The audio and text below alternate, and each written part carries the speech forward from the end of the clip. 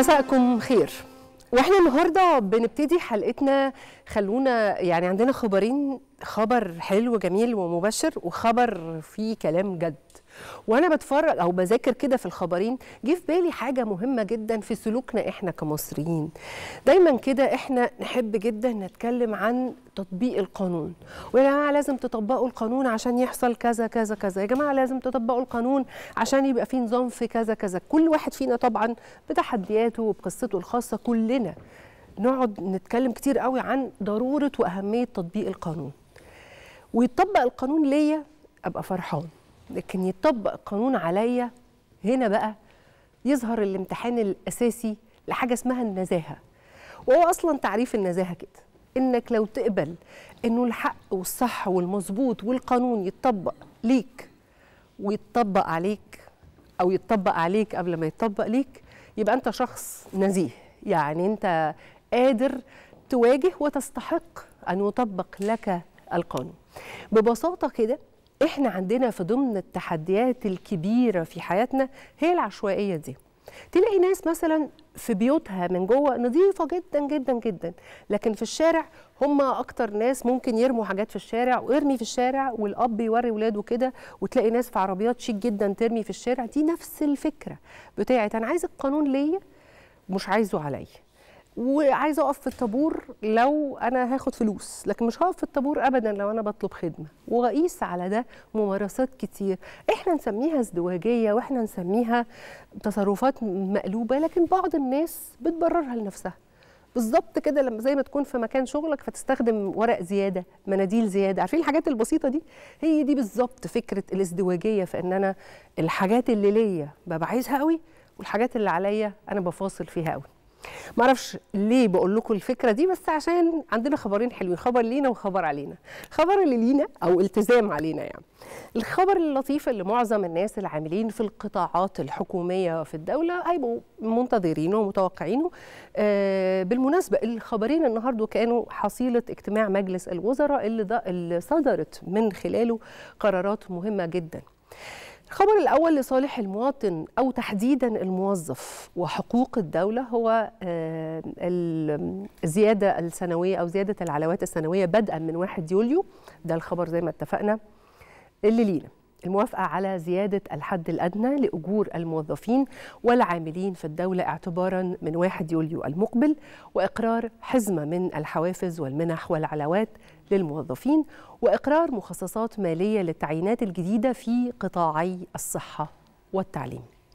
لو الخبر ده نقف عنده نقف نلاقي إنه استجابة لكتير من المناشدات. طبعا الحد الأدنى للأجور دي ده الكرامة والحياة الكريمة والحد الأدنى العادل اللي إحنا نقبله للمواطن المصري. واللي عارفين إنه كمان عايزينه أكتر وأكتر. أنا بفتكر دايما كلمة سيادة الرئيس لما قال أنا أتمنى أنا مش هسكت غير لما يبقى دخل الفرد آه غالبا قال رقم كبير حوالي 20000 جنيه بس مش فاكرة.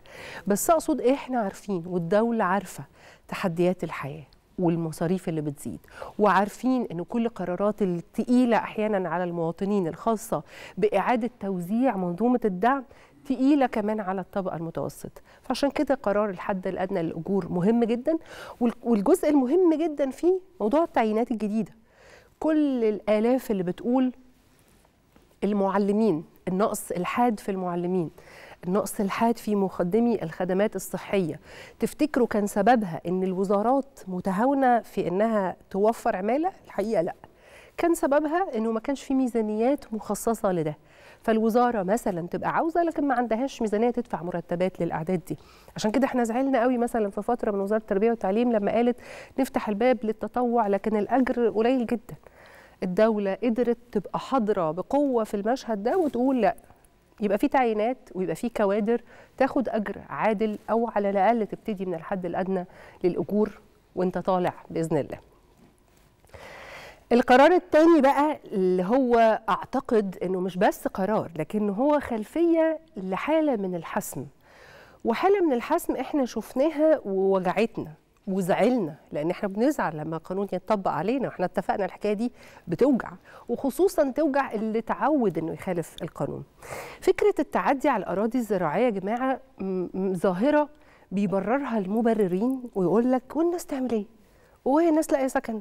ما الناس كانت بتبني في أي مكان. طب الراجل غلبان ما بيبني لعياله بيت عشان يعيش هو وعياله. القرارات اللي تخص إيقاف التعدي على الأرض الزراعية صدرت أصلا من سنوات طويلة.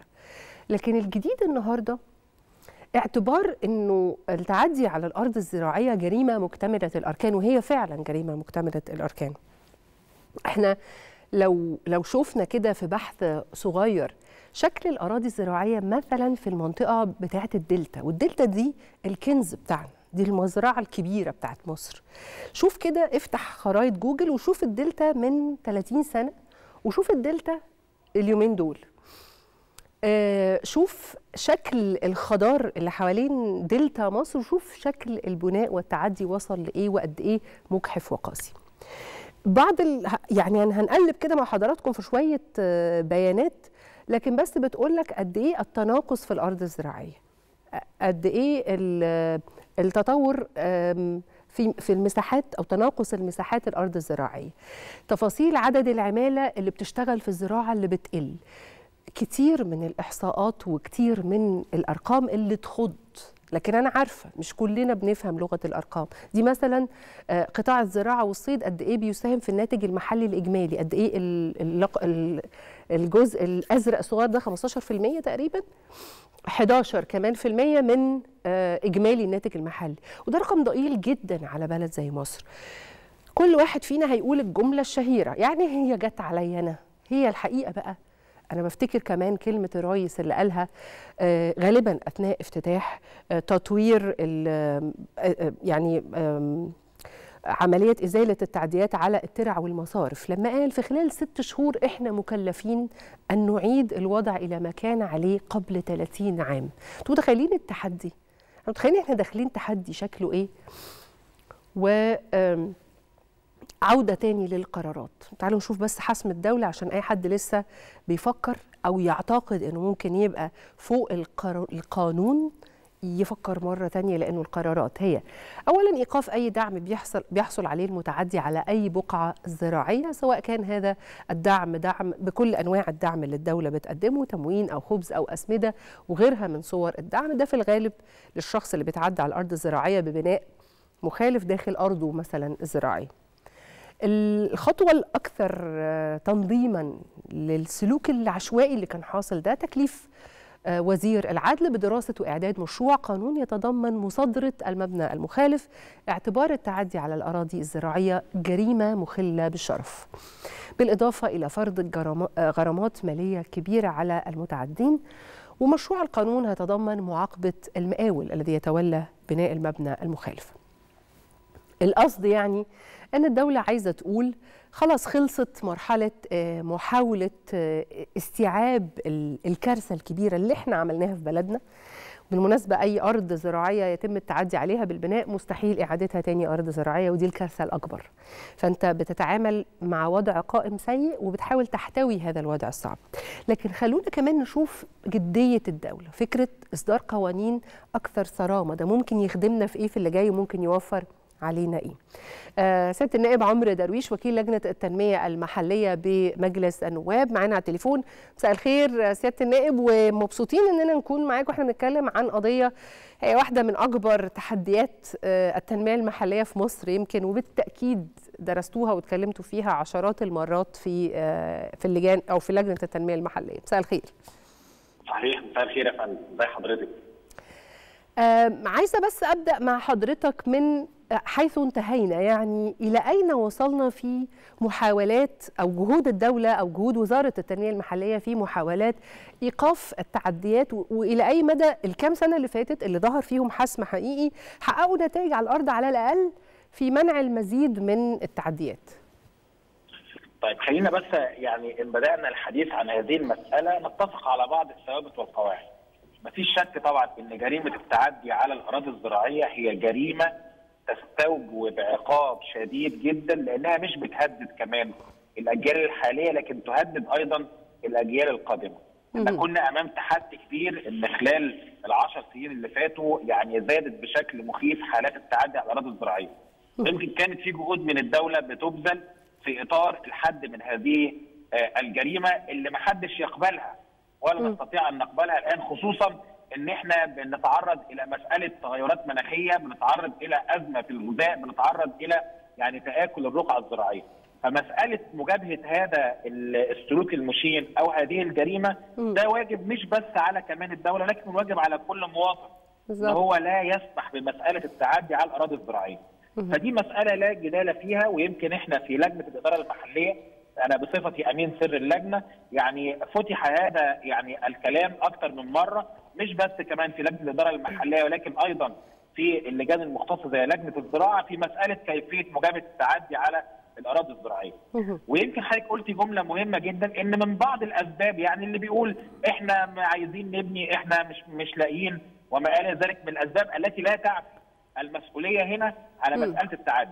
بس أنا حابب أضيف لحضرتك أنه يجب أن يتضمن المشروع القادم مش بس معاقبة المعتدي والمقاول ولكن يجب أن يعاقب أيضا من سهل هذه الجريمة.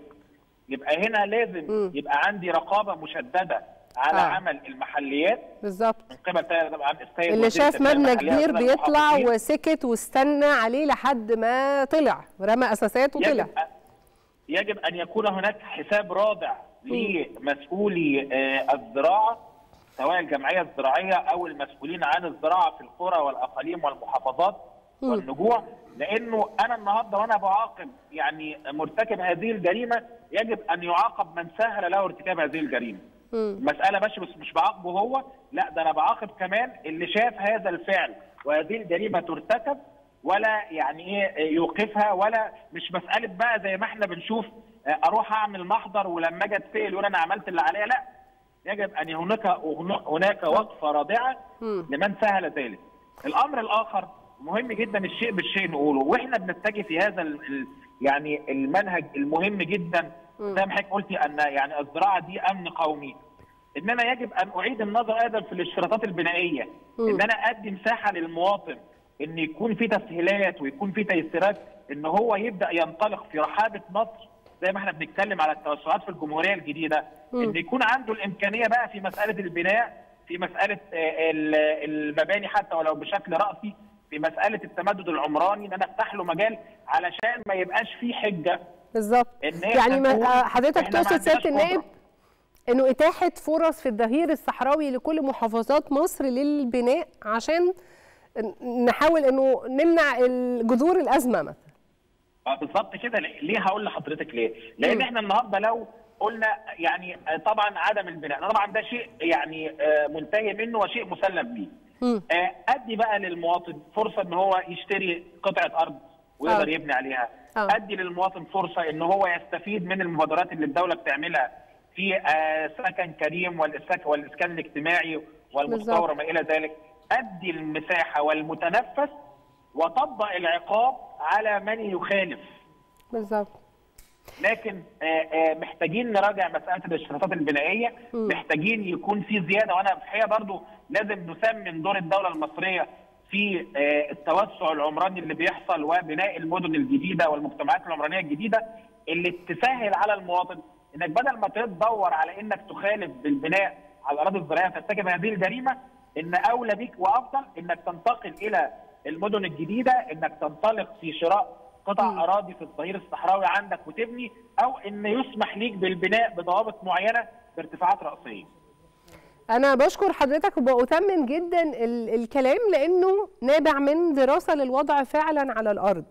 هم عوامل كتير هي اللي سببت الفكرة دي أولها الإتاحة أو أو إتاحة الفرصة للناس إنها تعمل الغلط ويتم تكراره. عندي سؤال أخير وسريع جدا عايزة أسأل حضرتك فيه عشان بيحصل خلط أحيانا، البعض بيقول هنبني على أرض زراعية هبني مخالف وهقدم تصالح. الناس متخيلة إن قانون التصالح هيمرر أخطاء أو كوارث زي دي في ظل إنه هقدم على تصالح وهدفع غرامة، هل ده وارد أو هل الخلط ده منطقي؟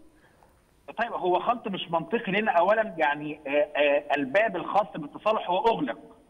من فترة بالتوقيتات اللي نص عليها قانون التصالح لكن حضرتك سألت سؤال مهم جدا مسألة النهارده إن يكون عندي تصور ارتكاب المخالفة أو الجريمة فأبدأ ألتف علشان أحصل على اجازه بطرق غير آه، متوافقة وغير قانونية هو ده مسلك يجب أن يجابه. إحنا محتاجين في مسألة التعدي على الأراضي الزراعية دي بالمناسبة إلى حوار حوار بناء نفهم الناس تداعيات البناء على الأراضي الزراعية. نف- الناس لازم يكون يعني هقول لحضرتك حاجة. إحنا أنت لازم ترفعي الحس الوطني شوية إنه يبقى عارف إن هذه الجريمة جريمة مخلة بالشرف.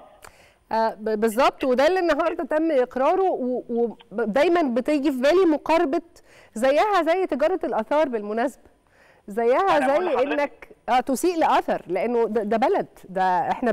بنسيء لرقعة زراعية شوف حضرتك إحنا في تنسيقيه شباب الأحزاب والسياسيين كان لنا تعقيب من حوالي أسبوع أو أسبوعين على مسألة التعدي على الأراضي الزراعية.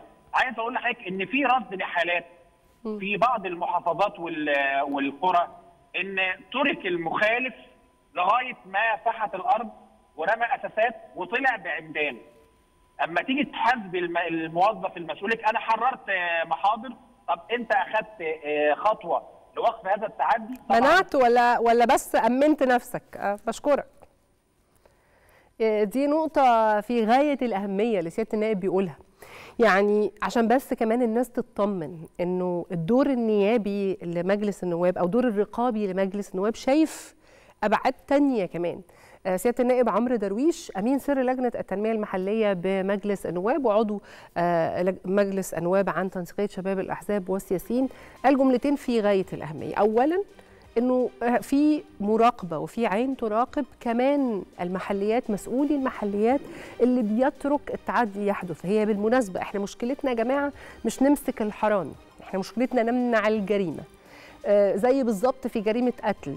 الأمان أن تمنع القتل مش إنك بس تمسك القاتل. فهي الجرائم اللي تشبه التعدي على الأرض الزراعية أنت عايز تمنعها قبل حدوثها. فالرقابة على ثلاث مراحل. على من سمح من نفذ من سهل وبالتالي بالتأكيد صاحب الأرض أو صاحب المبنى. بعد الفاصل نكمل كلامنا لأنه النهارده عندنا الحقيقة قصص وملفات مهمة وآخرها لو بعد الفاصل يعني هنكلمكم عن حاجة أعتقد إن كتير مننا جت في بالنا وسألنا نفسنا السؤال بتاع إيه السر ورا فيروس كورونا؟ إيه إيه اللي ممكن يبقى الأثر الجانبي أو الآثار الجانبية؟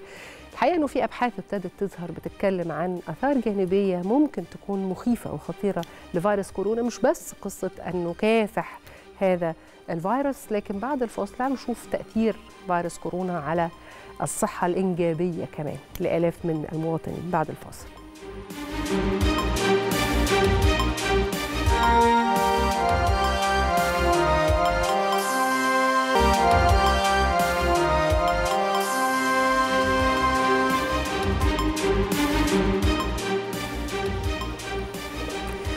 آه، مساءكم خير مرة تانية وندخل على طول في الموضوع لأني مش من أنصار نظرية المؤامرة بأي شكل من الأشكال إلا أنه المؤامرة لما تكون واضحة وقريبة وغريبة ومريبة والتفاصيل كده لما تتربط جنب بعض تحس أنه في أسئلة لازم تتسأل.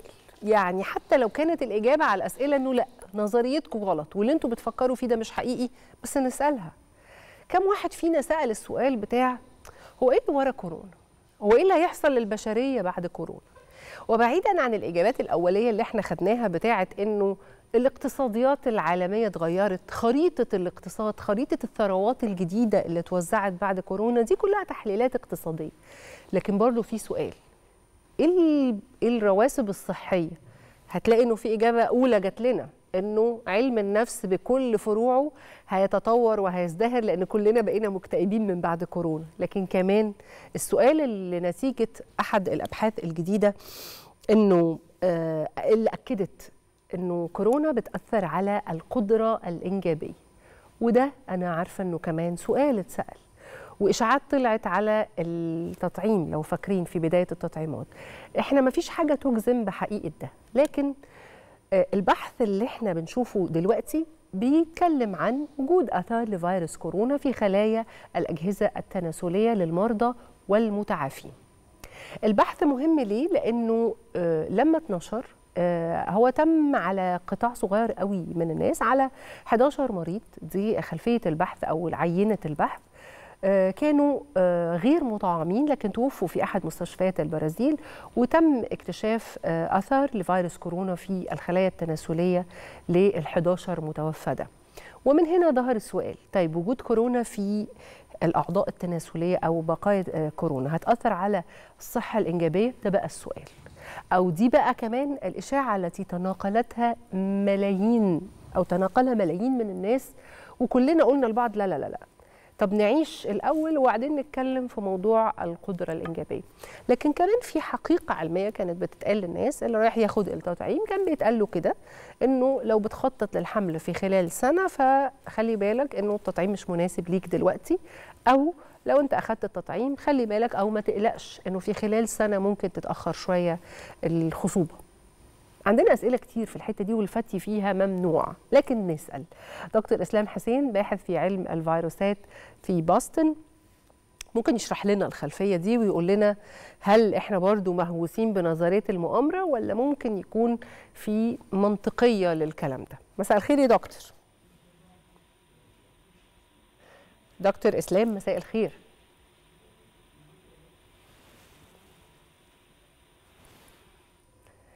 إحنا معانا دكتور إسلام حسين الباحث في علم الفيروسات من بoston ممكن يوضح لنا تفاصيل وخلفية وإجابات على السؤال ده. طيب لحد ما يرجع لنا دكتور إسلام نفسي كده أرجع مع حضراتكم للوقت اللي كنا فيه بنتكلم في بدايات الحديث عن اللقاحات. كان في تيارين كبار. تيار كبير بيتكلم عن الاقتصاديات اللي وراء اللقاح وتوزيع اللقاح العادل على الدول الأقل حظا في الاقتصاد. والحقيقة إن دي الحتة الثانية دي ما حصلتش أو ما شفناهاش أو ما حسيناش بمعاناة فيها. يعني طبعا اقتصاديات العالم اتغيرت طبعا والشركات والدول المنتجة للقاح هي أكثر الاكثر استفادة من اللقاح طبعا. وفي بلاد لحد النهارده بتعاني من تداعيات فيروس كورونا وبتعاني من عزل شديد طبعا. لكن كمان كان عندنا السؤال الثاني بتاع المتخوفين من اللقاح واللي فضلنا طول الوقت نبقى بنقاوم التيار ده اللي كان بيقول لك في حاجة اللقاح ده هيموتني. كنا بنقعد نقنع الناس ونقول لهم لا والحمد لله ما حصلش. لكن المخاوف على التأثير على الصحة الإنجابية سؤال منطقي جدا ومن حقنا نسأله. دكتور إسلام رجع معانا على التليفون. مساء الخير دكتور إسلام حسين باحث في علم الفيروسات في باستن أهلا بحضرتك. أهلا بيكي مساء الخير عليكي وعلى السادة المشاهدين. مش عارفة حضرتك سمعتني من أول فين؟ لكن أنا بسأل السؤال المنطقي اللي على خلفية البحث البرازيلي اللي بيتكلم عن وجود بقايا لفيروس كورونا في الخلايا التناسلية للمتوفين من هذا الفيروس. وسؤالنا الكبير هل الكورونا تؤثر على القدرة الإنجابية للعالم أو لملايين من الناس اللي موجودين؟ وإلى أي مدى الكلام ده ممكن يكون علميا منطقي؟ تمام. ده سؤال مهم خليني أبدأ الأول بمقدمة سريعة جدا إنه إحنا مع بداية الوباء في لو رجعنا بظهرنا لورا ل 2020 أه. كنا متصورين إنه فيروس كورونا المستجد سارس كوفي 2 فيروس تنفسي كلاسيكي يصيب الرئة وبيعمل مشاكل في جهاز في الجهاز التنفسي زيه زي فيروسات أخرى كثيرة بتصيب الجهاز التنفسي. بعد ما يعني مع الوقت بدأت تظهر يعني نتائج وملاحظات كتيرة تراكمت خلال السنتين اللي فاتوا بتقول إن هو لا يكتفي بالجهاز التنفسي فقط ولكن له آثار أخرى على أجهزة مختلفة في الجسم.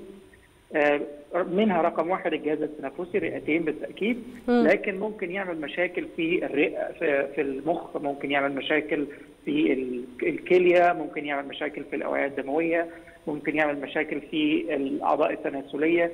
ممكن يعني له تشعبات مختلفة داخل الجسم. السبب في الموضوع ده أكثر من حاجة الحاجة الأولى علميا إنه المستقبل اللي بيستخدمه فيروس كورونا عشان يفتح الباب بتاع الخلايا بتاعتنا ويدخل مش موجود في خلايا الرئة فقط ولكنه آه. موجود في أماكن كثيره في الجسم. م. فده بيمكن الفيروس من إن هو يغزو أعضاء مختلفة من الجسم خارج منطقة الجهاز التنفسي. طيب يا دكتور إنه قبل ما نروح للحاجة الثانية ممكن بس أسأل في الحاجة الأولى دي؟ كان بيتقال كده إن الفيروس يهاجم المنطقة الأضعف في الجسم. فيعني لو شخص مريض كلى فيتقال له أخطر حاجة عليك إن الفيروس ممكن يهاجم الكلى هل ده هل ده منطقي ولا زي ما حضرتك بتقول لأ في ريسبتورز في أماكن كتير وهو ممكن يروح يهاجم أي مكان من دول؟ يعني هي الموضوع عشوائي ولا مرتبط بالصحة ال- الأساسية؟ أنا جات لي الكورونا وأنا حالتي الصحية بالأساس كانت عاملة إزاي؟ هو هو مرتبط بحالة كل شخص. آه، بكل حالة على حدة. يعني ما فيش قاعدة نقدر نطبقها على كل الناس. يعني في بعض الناس في اختلافات بيننا كبشر وفي اختلافات في آه، آه، سرعة وقوة الاستجابة المناعية. وفي دلوقتي اختلافات بيننا في ناس في ناس واخدة التطعيم في ناس مش واخدة التطعيم في ناس واخدة جرعة في ناس جرعتين. ففي اختلافات كتيرة جدا بيننا دلوقتي. فده بيؤدي إلى اختلاف الصورة الإكلينيكية عند المصابين. في ناس ممكن تبقى التعب خفيف ممكن الناس يبقى في حاجة ممكن يتطور لا قدر الله ويبدأ يدخل لمناطق أخرى ال- ال- الكلى ممكن يأثر بتأثير سيء على المخ ممكن يروح للبنكرياس عرفنا بعد كده إنه ممكن يكون له دور في الإصابة بمرض السكر سكر. يعني ممكن يعمل حاجات كتيرة جدا ما نقدرش دلوقتي نحدد نحط إيدينا ب ب ب يعني طب رجوعا لمسألة التأثير على الصحة. الإنجابية.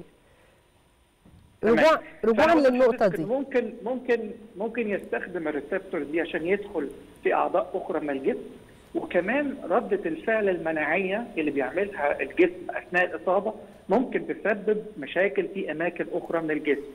ال- ال- العامل الثالث المهم إنه آه، ممكن يعمل مشاكل في الأوعية الدموية. والأوعية الدموية دي هي اللي تنقل الدم لكل مناطق الجسم عندنا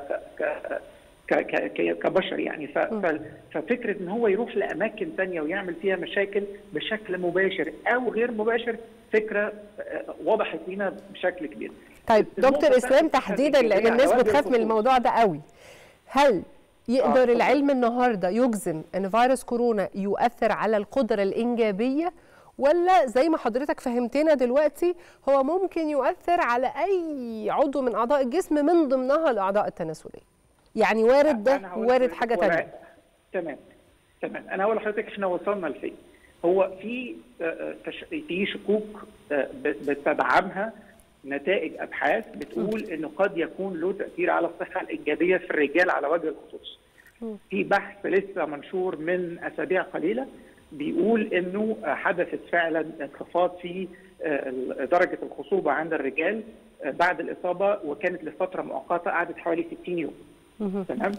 ال- الأبحاث الثانية اللي خرجت على سبيل المثال الدراسة اللي حضرتك أشرت إليها اللي خرجت من البرازيل آه، وضحت لنا حاجة جديدة بقى وضحت لنا إن إحنا دلوقتي نقدر نكشف عن وجود الفيروس نفسه في الأنسجة بتاعة الأجهزة التناسلية في الذكور ونقدر نعزل الفيروس المعدي من هذه الأنسجة وقدروا إن هم يعني يكشفوا عن تغيرات مرضية مختلفة بتقول انه بيحصل فيه التهاب في هذه المنطقة من الجسم تمام فكل ال ال ال ال الاجزاء الصورة دي لما نحطها جنب بعضها نقدر نقول إنه بالفعل قد يكون له تأثير على الصحة الإنجابية لكن حتى الآن الصورة بتتركب شوية شوية ما عندناش تصور واضح آه، للصورة كاملة.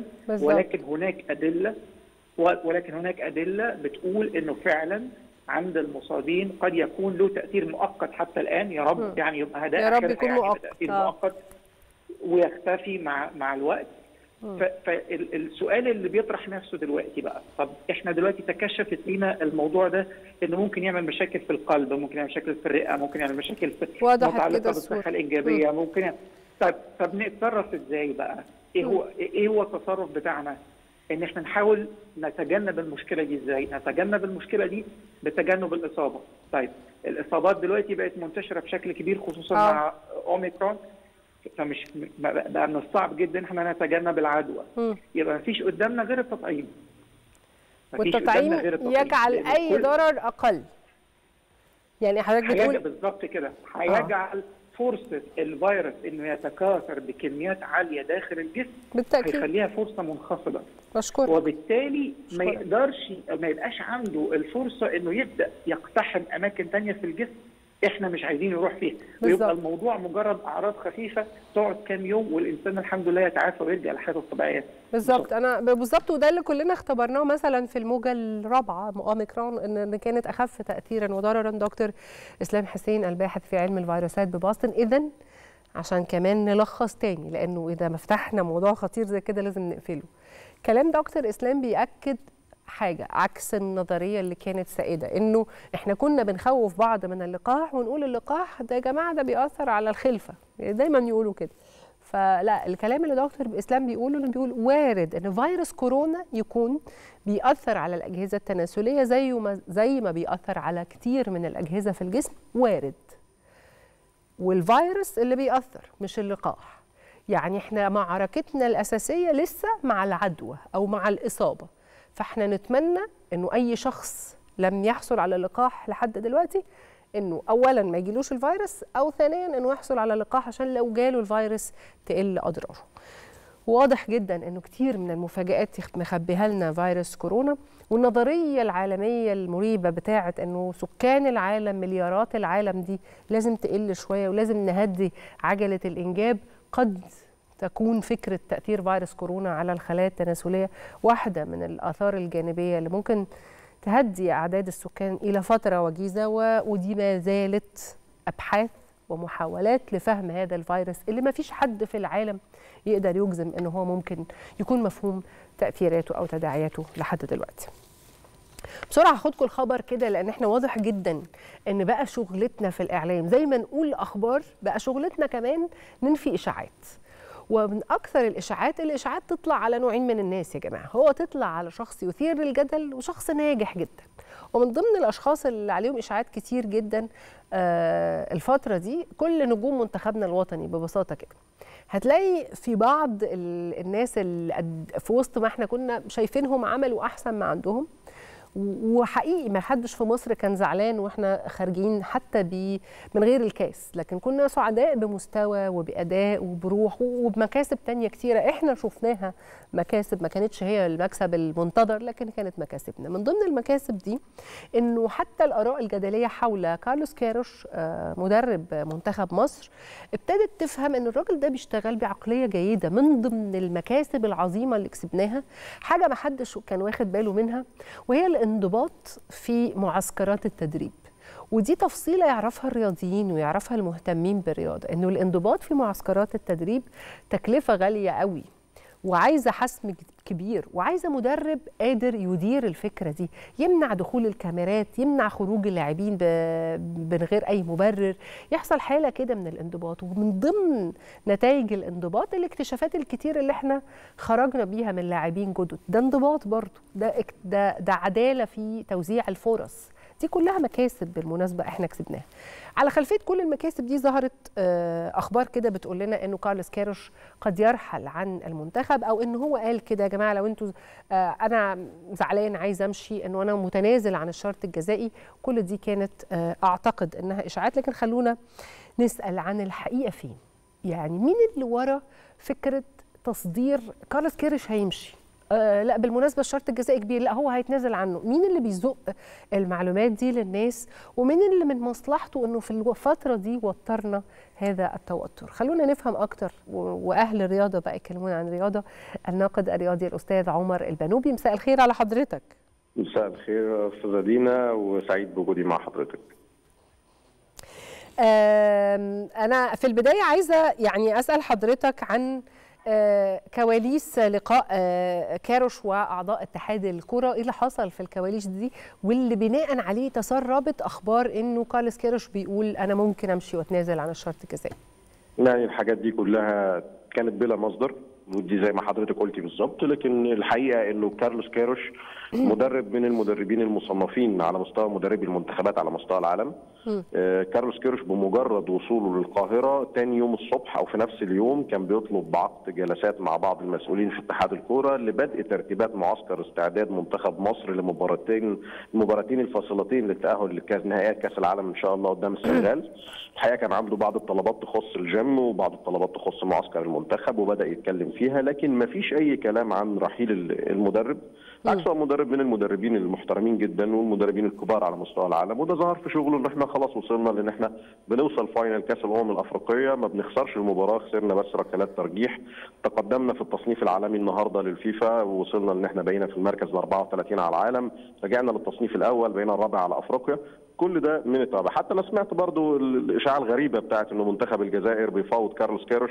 آه. سالت في الاتحاد الجزائري لكرة القدم النهارده وأصدقاء ليا هناك. نفوا تماما الفكرة إنه جمال بالماضي مدرب منتخب الجزائر مستقر في مكانه.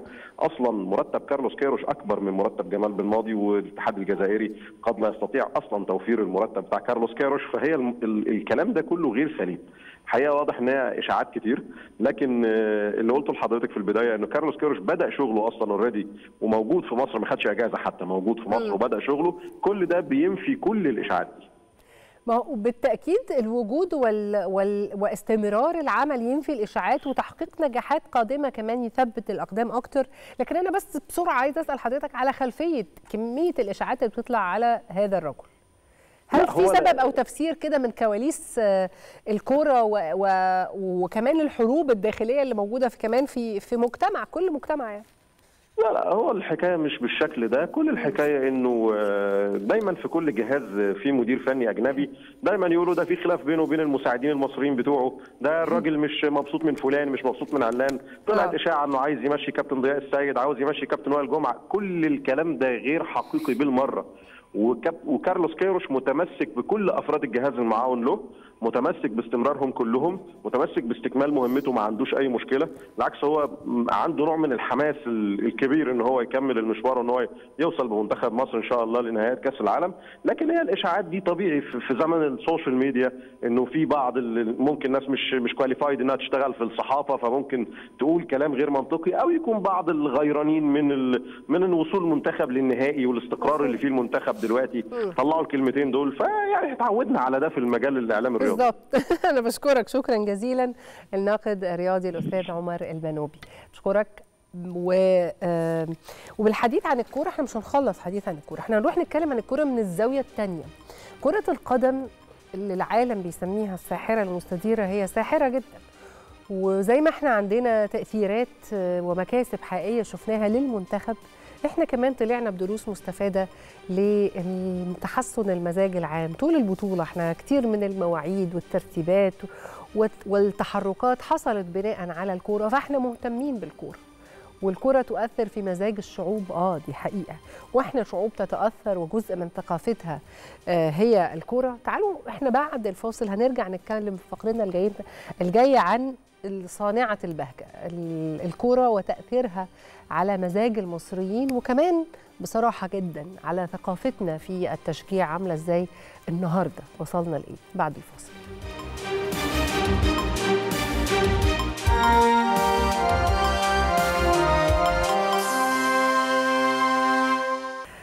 إحنا بس قلنا نمسي عليكم بجرعة بهجة وانبساط ومش بس نفتكر معاكم أعمال جميلة وحلوة لكن كمان إحنا أحيانا بنحب نشوف النماذج وال... والفنانين الكبار اللي حبيناهم على مدار سنين طويلة عشان كمان نرجع نفتكر إنه في قيم كبيرة جدا كانت ورا الفن وورا الأعمال الفنية.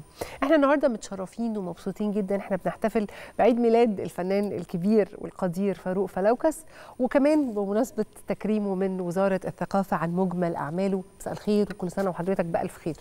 مساء الخير يا فندم وكل سنة وحضرتك طيبة. مش هقول لك عيد ميلادك الكام؟ كملت ال 40 ولا لسه؟ لا أنت كده بتكبريني يعني. كبرتك صح؟ لا أنا ليا الشرف إن أنا أقول عندي 85 سنة. ربنا يديك الصحة يا رب و... ده سعادة كبيرة إن أنا أقول عمري. آه مش كده؟ لأن لأنك فخور بحاجات حلوة كتير حققتها. آه لا أنا فخور اولا إن ربنا إداني الصحة دي لغاية دلوقتي. يا رب. وفخور بإن أنا قادر أمشي وقادر أروح وقادر أجي. الحمد لله. ومخي بيشتغل آه. فيا سلام. نعمة آه كبيرة. لا يشعر بهذه النعمة إلا من مر بسني يعني. مم. نعمة كبيرة يا أستاذ فاروق. طبعاً. وإحنا وإحنا مبسوطين ومحظوظين إن إحنا بقى نتكلم معاك بقى ونرغي وندردش بس الأول هبتدي من التكريم. احكي لي بقى ال- المسرح القومي اللي أعتقد إنه من 65 بما إن حضرتك قلت عمرك بقى مش دعوة. من 65 سنة بدأت آه، رحلتك الفنية من خلال المسرح القومي مش كده؟ دي معلومة صح؟ لا مش من خلال المسرح القومي. آه المسرح عموما. على خشبة المسرح القومي. آه. يعني أول عمل قدمته في حياتي من 65 سنة مم. سابقة كان على خشبة مسرح الأزبكية كان اسمه الأزبكية وهو دلوقتي اسمه المسرح القومي. ودي كانت بداية رحلة حضرتك أو تجربتك آه الفنية الأستاذ أبو بكر عزت الله يرحمه ويحسن إليه ويغفر له. هو اللي اكتشف فيا الموهبة يعني. امم واختارني من ضمن مجموعة في كلية الهندسة. كنت أنا طالب في كلية هندسة جامعة القاهرة. ويعني رئيس الفريق قدمنا ليه. آه. فاختارني وعملت التمثيلية الصامتة دي آه. اللي هي اسمها بانتومايم وأنا ما كنتش. أعرف يعني إيه مسرح ولا أعرف إيه بانتومايم ولا أعرف أي حاجة. لكن أكيد كنت مهتم. يعني قبل, كده ما كنتش ولا ليه علاقة. يعني يعني علاقتي بالمسرح منين يعني؟ ما أنا بس كنت ده معناه إن مسرح الجامعة في وقتها كان مزدهر جدا. يا سلام. إنه كان في فرص وفنانين بيروحوا يشوفوا الطلبة مش كده؟ آه يا سلام على مسرح الجامعة زمان. آه. وعلى الأساتذة المهيمنين على النشاط الفني. آه. يعني قد كده حاجة ممتعه انك تشوف إن الاستاذ المهيمن على النشاط بتاعك وانت بتعملي بروفه هو قاعد في اوضته بيسمع حاجة بيتهوفن أو كده أو كده. آه كنا يعني- لسه من دقايق بنتكلم عن القدوة القدوة الشخصية هم كأشخاص آه، قامات عظيمة. كانوا قدوة وكانوا محبين وكانوا محبين لينا. آه. آه، يعني أنا لما آه، الأستاذ أبو بكر عزت الله يرحمه اختارني. وعملت التمثيلية دي تقدري تقولي حضرتك آه، نجاحي فيها وإحساسي بالمسرح آه ابتدى من اللحظة دي من طبعا 65 سنة الله وأنا قلت يا نهار أبيض إيه ده؟ إيه الجمال ده؟ إيه الحلاوة دي؟ أكتر ما سحرك في المسرح إيه المسرح نفسه, نفسه. إن أنا بقى يعني أنا على المسرح وبعمل كده بإيدي آه ما هو كان بانتومايم آه. يعني كده بعمل. بفتح آه. بفتح حنفية فلازم أوريهم دي حنفية آه. فيضحكوا. الماء تنزل ف يعني ما كذا فقلت الله إيه إيه المسرح ده؟ إيه التأثير ده إيه إيه ده؟ إيه إيه الطعامة دي؟ طب وإحنا بنتكلم عن المسرح بقى ما ينفعش نجري على خطوة إنه حضرتك عملت برضه اشتغلت مع أحد عظماء وأساتذة وكبار المسرح الأستاذ الكبير فؤاد المهندس. آه طبعا. دي واحدة برضه من التجارب اللي كانت في بدايات مسيرتك الفنية مش كده؟ ما هو الأستاذ أبو بكر عرفني بالأستاذ فؤاد. وعملت سيدتي الجميلة وعمرك قد إيه يا أستاذ فاروق؟ لا. أنا خريج آه. 63 هندسة. آه. عملت دي تقريبا 69 آه يعني يعني مثلا كان عمر حضرتك 27 سنة مثلا. وبعدين كنت إيه مركز في شركتي. آه. كنا مكلفين كمهندسين. أها. بأمر تكليف. يعني بالأمر إذا ما كنتش هنفذ الأمر ده النيابة تجيبك. تكليف إنك تروح المسرح؟ لا ولا إيه؟ كمهندس. آه التكليف الأساسي كمهندس آه. ف. فكنت يعني وصلت لشقوة يعني في, في درجه كويسه واللي انت شايفاه صغنن ده آه. كنت على شفا مدير اداره يعني. ورغم ده حبك للمسرح كان بيخطفك لا ساتر يا رب يا ساتر يا رب على العذاب اللي شفته. عشان أخرج من مصانع حربية في قلب عين حلوان. آه. عشان أروح أعمل بروفة مع الأستاذ الفؤاد المهندس في رواية أنا فين وأنت فين كنت مساعد مخرج معاه. امم وميعاده الساعة 11 طيب وميعاد مقدس. آه. وأنا في الش- في الشغل ميعاد مقدس. طيب. بس بتيجي العربية تاخدني الساعة 6 الصبح. فاروح بقى إزاي أتحايل عشان أخرج وعشان أخرج وأركب إيه؟ آه. عذاب ما بعده عذاب. لكنه كان في غاية. كنت رايح أقابل حبيبتي اللي هي خشبة المسرح يعني. آه. وابتدت الانطلاقة بقى يعني. إمتى حضرتك احترفت التمثيل و... وسبت الهندسة؟ بعد ما سيبتش الهندسة. ما سبتش الهندسة ابدا؟ خالص. إيه ده؟ إيه الجمال ده؟ ما اصل هو نادرا نادرا ما فنان يفضل في المهنتين. والاثنين صعبين. لأنه في الغالب إنه شقلبة الحياة اللي حضرتك بتتكلم عنها بتخلي الواحد آه، لازم يسيب حاجة. والله ما ما كانش أقدر أعمل كده. يعني يعني ما أكذبش عليك يعني في ناحية مادية أيضا. طب؟ الهندسة كانت بتدينا أجر كويس. والفن آه، طول عمره كده إنه وكمان في المقاييس زمان الأجور كانت آه، فقيرة. بسيطة جدا. بذكر بقى الحاجات اللي سبناها عشان كنا مشغولين. آه، الثلاثي أضواء المسرح. آه ماله؟ أنت اعتذرت عن إنك تكون ضمن الفريق ولا إيه؟ لا. الكلام اللي إحنا بنقراه المعلومة؟ المعلومة مش كده. آه. المعلومة أنا كنت إحنا الجيل بتاعنا في كنا بنتقابل عند الأستاذ فؤاد كنت أنا والضيف وأسامة عباس وزكريا موافي و... ومجموعة جيدة جدا من الفنانين. آه. آه، بنتقابل آه، طلبة يعني. آه. فكان ارتباطي ب... بالضيف أحمد ارتباط وثيق وكنا حبايب قوي قوي قوي قوي. الكلام ده لما بتكلم على سنة 58 آه. وابتدينا نعمل مع بعض شغل آه، آه، كوميدي لطيف إن إحنا إن إيه، أي مثلا جهة من جهات آه، الجامعة عايزة تعمل برنامج إحنا مستعدين نقدم. ساعتين ليكم من الضحك آه، نظير 20 جنيه. آه. كنا عاملين فرقة كده تضيف وفراوكس آه. فعلاقة قوية ومتينة. الكلام ده سنة آه. 58 59 أثناء الدراسة. آه هو كان متخرج. وكنا مرتبطين ببعض خالص يعني لكن آه ضيف آه اشتغل بقى مع, مع مسرح الدولة آه وكان بيشتغل موظف في رعاية الشباب والعلاقة مستمرة. والعلاقة الفنية دي ما- لما بتبقى قوية بين اتنين أو تلاتة. تبقى ليها طعم آه, إنساني كمان. آه إنساني خالص يعني وعائلي. فأنا بتكلم على سنة 58 مم. كانش في حاجة اسمها ثلاثي. أيوه قبل ظهور ثلاثي اضواء المسرح الثلاثي ظهر سنة 61 آه في برنامج اسمه أضواء المسرح. آه كان بيعمله التلفزيون والأستاذ محمد سالم الله يرحمه كان هو اللي بيعمله ده. فجاب الثلاثة دول كان سمير آه في اسكندرية و- وغاوي قوي إنه يبقى يعني كان الحقيقة نشط قوي في الحتة دي. وجورج في عين شمس. وكان معاهم واحد اسمه عادل نصيف. هم الثلاثة دول عملوا دكتور الحقني دي في الأول ونجحت. ودي كانت البداية. يعني علاقة حضرتك بالضيف أحمد كانت قبل أصلا تأسيس ثلاثي المسرح. أيوة طبعا. ده تاريخ يا أستاذ فاروق. وأنا يعني بحكي لك تاريخ. أنا أحد الصحفيين اللي, آه. اللي أنا بحبهم وأقدرهم. آه. قالوا عني بزور التاريخ. أزور إيه؟ لا ده بال... فقولي هم هم لما مشي عادل نصيف سافر بره عشان يعمل دراسة ياخد ماجستير أو دكتوراه. وكان ممثل كويس قوي لطيف يعني. فحب واحد تالت. فأنا كنت ناشط قوي وليا اسم في الجامعات يعني. آه فجورج وسمير جمعة عشان أشتغل معاهم. وده شيء أمره طبيعي. آه.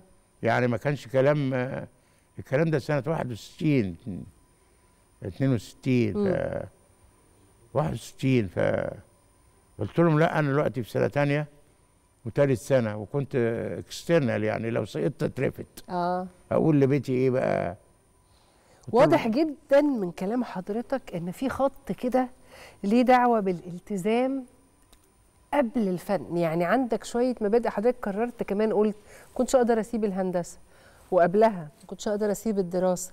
فدي حاجة لازم أرجع أسأل حضرتك فيها بعد الفاصل. تسمح لنا؟ اتفضل. لأنه أنا بحب أطلع كده من ورا الحكايات بال- بالقيم الأساسية في حياة الفنان ده. ودي المكسب الحقيقي متهيألي.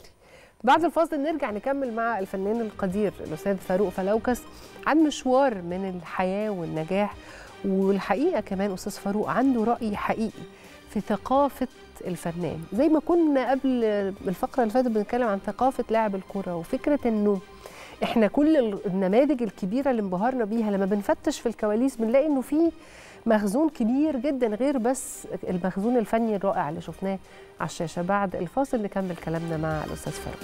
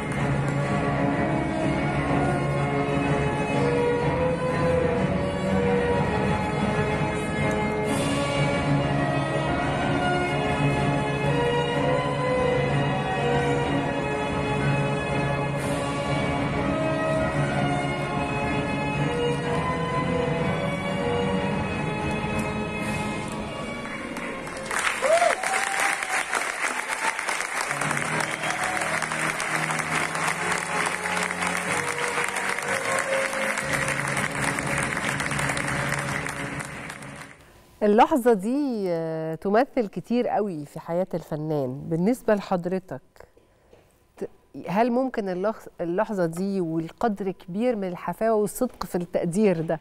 يعني إحنا شايفين ناس صادقة قوي في تقديرها لحضرتك. كانت كانت حقيقي بساطتك؟ كنت متوقع؟ مبسوط؟ آه، احكي لنا شوية عن تفاصيل اللحظة الحلوة. أنا عايز أقول لحضرتك حاجة. مم. آه، آه، أنا ما ما- يعني ساعات لغاية دلوقتي غمراني. لغاية اللحظة اللي بكلم فيها حضرتك. وبنام وأنا مستريح البال جدا. ان أنا ما ضرتش حد ولا ضايقت حد بالعكس. مم. الناس حباني وبيكرمني. لما ألاقي سيادة الأستاذة آه، الدكتورة الفنانة الوزيرة إيناس عبد الدايم. تكرمني بهذا التكريم. يعني أنا بعتبرته يعني كتير عليا يعني لدرجه الدموع كانت نازلة من عيني وأنا قاعد.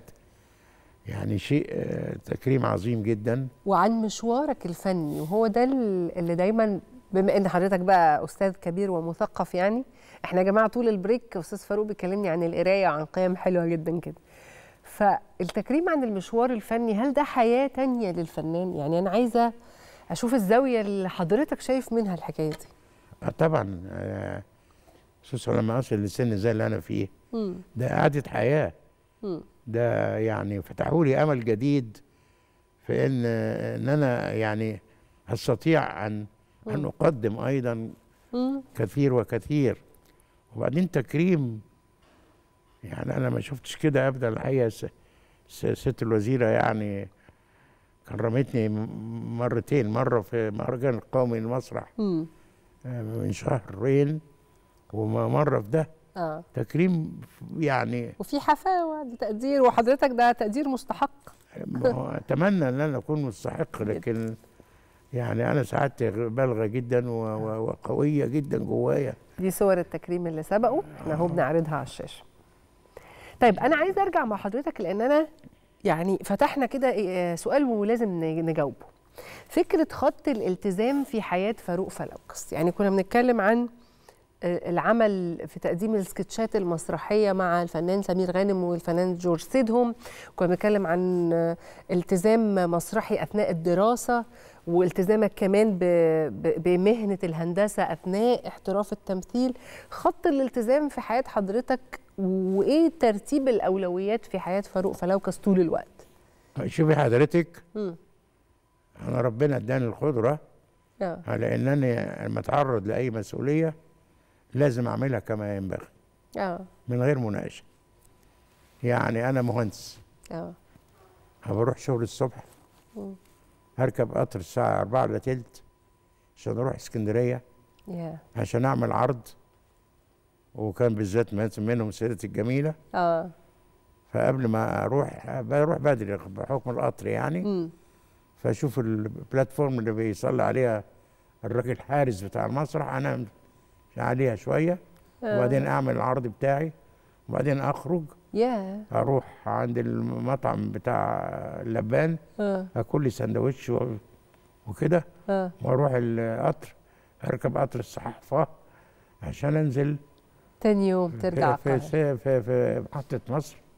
هو محطه مصر أروح للشركة بتاعتي اللي كانت في نص البلد. ياه. أبقى أول واحد داخل. ده خدي بالك ده على مدار أيام. هذا الالتزام ده يعني دي مسؤولية. طبعا. وبعدين في أيام على فكرة كانت بتبقى صعبة جدا. مم. أنا عندي أنا كنت ماسك المشروعات. آه. فعندي مشروع في أسوان. ها وأنا بعمل مسرح بالليل. فباخد طيارة الصبح الساعة 7 أنزل في مطار أسوان. يجي ياخدوني بالعربية نروح على اللوكيشن فيه الشغل. مش ممكن. ما أنا عشان كده بقول لحضرتك إزاي؟ يعني قعدت سنين عمرك بهذا ال ال يعني بالالتزام ما بين الاثنين ما هو ما أعرفش. ده عظمة. طب طيب وحكاية وكنت بترجع من أسوان بالطيارة الصبح؟ هرجع بقى من أسوان وأقف في مطار أسوان مستني الطيارة اللي جاية من أبو سمبل. ها يا تيجي يا تيجي متأخرة يا ما تجيش. يا. وابقى واقف كده على أعصابي. عشان عندي مسرح عندي. لازم هنزل من المطار ده على مطار القاهرة أركب من مطار القاهرة تاكسي أروح المسرح أقدم العرض. مش ممكن. ده ده شقة. أقسم بالله هذا بتاخدوا محزن. كام في في المسرحية؟ في العرض يعني؟ لا كنا بناخد الشهر مرتباتنا. مرتب. يعني أنا في سيرة الجميلة كنت وصلت لمرتب كويس كان 25 جنيه في الشهر. وده وقتها طبعا ده رقم كويس قوي وكان بدل السفر بتاعي لما أروح إسكندرية 75 قرش مم. في الليلة. يعني اقصد بسال حضرتك ليه؟ يعني أقصد الفن كان جايب همه ما كانش لا ما كانش جايب هم برضه لا. لا. آه. أو على الأقل بالنسبة لي. مم. تعالي بقى شغلي بياخد باخد مرتب. وأنا لا أنكرك يعني أنا حاليا دلوقتي مهندسين كانوا بيقبضوا كويس قوي زمان. زمان كويس كان مش كده؟ آه اهتمام الدولة بيهم كانت مهمة جدا. عبد الناصر كان مهتم بيهم لأن ما كان عايز يعمل السد العالي وعايز كذا آه. وعايز كذا وعايز كذا. فكلفنا. لكن آه، طب عندي سؤال على التزام تاني يا أستاذ فاروق. اتفضلي. حضرتك اشتغلت في مسرح الأستاذ الكبير عادل إمام. آه ودي طبعا بقى المسرحية كان بتقعد بالسنين. يعني الواد سيد الشغال قعدت كام سنة على المسرح؟ 8 سنين. 8 سنين. 16 موسم. إيه ده بقى؟ إيه بقى القدر من ال... ده مش التزام عادي بقى ده التزام وترتيب مواعيد وحياة وسفر وكل حاجة بتترتب على عرض مسرحي. آه. برضو حضرتك كنت ملتزم بشغلك وقتها؟ آه طبعا. ده إيه الجمال ده؟ لا. وبعدين آه، برضو الشغل مع عادل متعه يعني. آه. وليه متعة أخرى إنك بتسافري تروح. أنا رحت آه، قدمتوا المسرحية دي في جنب في كام بلد؟ رحنا أمريكا من ال- من الشرق للغرب. آه. ولايات ولايات ولايات لغاية ما وصلنا فلوريدا آه. ورحنا كندا ورحنا أستراليا ورحنا وأكيد الدول العربية. آه، لا طبعا. آه. لا لا يعني بكلمك على البلاد اللي- ورحنا ف يعني من ضمن الحاجات اللي أنا بحبها قوي إن أنا اشتغلت على مسرح الأولمبيك امم اللي غنت عليه ست ست أم كلثوم. الله. فأنا حتى وقفت على المسرح أقول يا رب كانت ست أم كلثوم واقفة هنا و... يعني عايز أقول لك إحنا بنقول كده بقى يا أستاذ فاروق لما بندخل الاستوديو ده. بنقول الاستوديو ده ده وقف فيه أو اشتغل فيه أهم صناع ال- الدراما في مصر آه. التلفزيون في مصر. آه. يعني الرحلات دي برضو كانت جميلة. مم. وأنا أشكر عادل امام آه، أن أتاح لي الفرصه أن أكون موجود معاه. وهو حقيقه لما عملت معاه الدور ده بتاع سيد بتاع الرئيس سيد شغال هو قال لي يا فاروق أنا عارف الدور مش مش مش قيمتك قوي بس قلت له لا معاك يبقى قيمتي خلاص. ده وكان دور لطيف قوي قوي. يعني آه يعني هو هو هو كده كان. طب أنا عايز أسأل حضرتك على دور تاني. ودور ده معظمنا بيحبه قوي لحضرتك رغم إنه كان دور جريء قوي. دور حضرتك في الراقصة والسياسي. مصيبة. مصيبة. وبنحبه ودمه خفيف وشخصية كده. لو اتقدمت صدقني يا أستاذ فاروق دلوقتي الناس هتقعد تقول إزاي بتقدموا الشخصيات دي؟ لا ما يقولوش لأن كان في حرية ومساحة أكبر زمان. لا لا كمان أنت إزاي حضرتك آه، إزاي إحنا بنتناول الشخصية؟ آه. في كلام جارح؟ لا في لا. لفظ كده ولا كده ولا ولا شفتيني عامل حاجة مش مظبوطة؟ لا. هو شخصية آه، الاولى بس قدمت حضرتك الشخصية بكل تفاصيلها. آه طبعا. و- و- وما كانت مقبولة وما حصلش أي انتقاد للشخصية دي؟ حصل كتير. أنا أقول لحضرتك طب احكي لي ردود الفعل وقتها. آه، آه، آه، لما قدمت في في دموع في واقع شخصية الجريجي امم الجريج كانوا فاكريني جريجي. امم لما قدمت الدور ده مع نبيل عبيد استاذه الناس كانت فاكراني كده للأسف الشديد. امم لما عملت آه، آه، الشامي في مسرحية آه، الدنيا لما تضحك كانوا فاكريني لبناني. آه ده من هو كتر الصدق في. أداء الشخصية بيخلي الناس يجي لها انطباع إن أنا كده. أها. فعانيت طبعا معاناة واولادي عانوا معاناة. معقول؟ والله وفي شغلي الراجل المدير بتاعي قال لي إزاي تعمل كده وأنت مهندس؟ أنت راجل مسؤول. أنت آه. قلت له طبعا ده دور. ده فن ده آه. ولا إيه؟ أنتوا مش فاهمينه ولا إيه؟ يعني صعوبة الدور ده كان في استقبال الناس مش في الانتقادات كان في إن الناس صدقت حضرتك زيادة. بتهيألي كده. آه. يعني وتقعدوا معايا وبعدين يبصوا لبعض يقولوا والله. ما كويس. الراجل أهو ده مش جميل. كده يعني حاجة غريبة يعني. آه. يبدو إن الصدق صعب يعني فقدمت أعمال كتيرة كلها تتميز بالصدق لأن أنا هكذب ليه؟ هي دي الشخصية كده. مم. هي دي البني آدم ده لما يمثل وبتعب بقى في دراسته وبتعب في في تشكيله ولبسه ونطقه وأنا بروح الشغل كمان يعني حتى هندسة. أثناء تصوير الدراما آه طبعا. ده يعني معاناة جميلة. 65 سنة فيها معاناة. يعني إيه قد أحلى قيمة في المشوار الحلو بتاع حضرتك ده. أحلى أحلى قيمة أنت شايف إنه كل واحد كده لما بيتأمل في حياته بيشوف شوية مكاسب. آه. إيه أغلى مكاسب عند حضرتك؟ غير ولادك الحلوين طبعا اللي دخلوا كمان المجال الفني آه لا ولا يعني أنا عندي واحدة ما دخلتش المجال الفني آه. آه. آه لا أنا عندي آه مكسب كبير جدا مم. اسمه حب الناس جدا جدا مم. ده بشوفه في كل حتة يعني لما أبقى أنا في قلب الكعبة وبعمل عمرة والراجل بيركب الكرسي آه أبو عجل وبيعمل لي السبع أشواط مم. وفي كل شوط بيلخني اللي أنا بقوله فبقوله فجت في حتة فيها ظلم. مم. وأنا كنت جاي من مصر كان حصل لي موقف فيه ظلم. فعيطت جامد. بقت- آه. فروحنا وخلصنا ورجعت وبعدين قلت له حسابنا إيه؟ قال لي ما فيش يا. ما ببغي. ما تبغي ده إيه؟ لازم. قال لي ما ببغي. آه. فخدته ورحت للظابط قلت له الراجل ده عمل لي كذا مش عايز فلوس. قال لي وهبة يا أخي وهبة. آه. يعني تصوري حتى في قلب الكعبة الراجل مش عايز منك فلوس. عايز يقدم لك إكرام طب يعني. هتلاقي حب أكتر من كده. وراح جاب لي المصحف من قلب الكعبة آه جوه عشان ودهولي يعني طيب ما يعني في أكتر حلو. من كده ثروة؟ ده رصيد وقبول و... ثروة. ومحبة. ثروة كبيرة جدا. حب الناس دي الواحد لو يعرفوا آه، ويقدروا. وبعدين مش منهم بس انت آه. كمان انت لازم تحبيهم ولازم تقعدي معاهم زي ما بيقعدوا وتقعدي على الرصيف معاهم زي ما بيقعدوا. وما فيش تكبر على البشر. آه آه. أنا فنان آه. آه. بس أنت مريد ومحب وبتديني قيمتي. يا سلام. طبعا طبعا. يا ربنا يديمها على حضرتك نعمة. و... وبشكرك وبشكر تشريفك لينا. نورتنا يا أستاذ فاروق. والله أنا اللي استنرت بيكم و...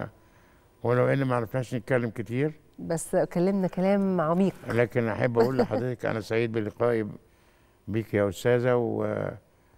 وأتمنى أن نتلاقي مرة أخرى يا رب يا رب نقدر نعمل حديث مطول عن المشوار نفسه شكله إيه في إيه آه إحنا إحنا محتاجين نعمل يعني حلقات خاصة كده عشان في كنوز عندنا في بلدنا عايزين نستفيد لا منها يعني. مهمة والقراءة مهمة جدا جدا مم. جدا واحيي و الست الوزيرة في معرض الكتاب الأخير ده مم. إيه النجاح ده؟ آه. في عز الكورونا دي وبتاع. آه. إيه الحلاوة دي؟ لا الناس لسه بتحب الثقافة وبتحب تسمع من هو الناس في حاجة في. بني آدم يعيش من غير ما يبقى مثقف؟ آه في. يبقى ما فيش بقى. في صدقني يا أستاذ فاروق. لا الثقافة دي حاجة كبيرة قوي قوي والقراءة حاجة كبيرة. نعمة كبيرة من عند ربنا. بشكرك. بشكرك أستاذ فاروق نورتنا. الفنان القدير الكبير أستاذ فاروق فلوكس اللي شاركنا مش بس بكلامه عن بس كلام سريع عن المسيرة الطويلة اللي ما يكفيهاش فعلا وقت الفقرة لكن كمان يعني إدانا فرصة إن نقول له كل سنة وحضرتك بألف خير. وحضرتك بألف خير يا فندم. وكل الناس بتحبك وبعتين لك سلام ومحبة وتقدير آه لازم أوصلهم على الهوا. بشكرك ونورتنا. وكل زمايلي في الكنترول اهم بعتين لك سلام خاص بيوصلوه كمان لحضرتك. دي كانت حلقتنا النهارده من برنامج التاسعة. إن شاء الله نشوفكم على كل خير بكرة. أستاذ شفكي ترجع الأسبوع الجاي بألف ألف ألف سلامة. اشوفكم على كل خير.